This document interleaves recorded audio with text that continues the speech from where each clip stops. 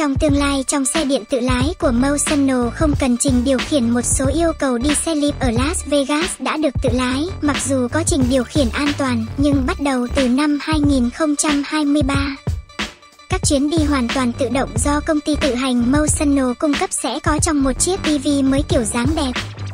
Hyundai Ioniq 5 sẽ được chuyển đổi thành taxi robot cho các yêu cầu đi xe lip ở Las Vegas và các thành phố khác. Motional sẽ bổ sung vào mạng lưới xe tự lái của mình. Hiện tại Motional sử dụng những chiếc BMW đã được sửa đổi ở Vegas mà bạn có thể đặt hàng thông qua ứng dụng Leap với một người lái xe giám sát chiếc xe ở ghế trước. Đối với hành khách, một khi EVS hoàn toàn tự động ra mắt, điều đó có nghĩa là đặt xe thông qua ứng dụng Leap và sau đó giao tiếp với xe thông qua ứng dụng và màn hình ở hàng ghế sau. Một dải đèn led trên cửa sẽ cho bạn biết khi xe đã sẵn sàng để bạn đi vào. Sử dụng ứng dụng, bạn sẽ trượt mở để mở khóa. Nếu bạn không thể tìm thấy chiếc xe, nó sẽ khá đáng chú ý với 30 cảm biến được gắn trên đầu và tất cả xung quanh nó.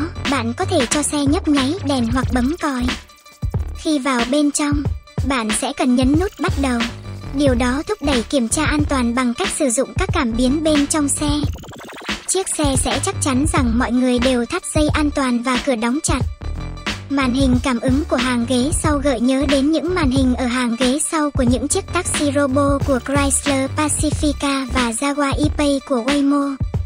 Waymo thuộc sở hữu của Alphabet đã xây dựng ứng dụng gọi xe của riêng mình cho những người đi xe ở Phoenix và San Francisco.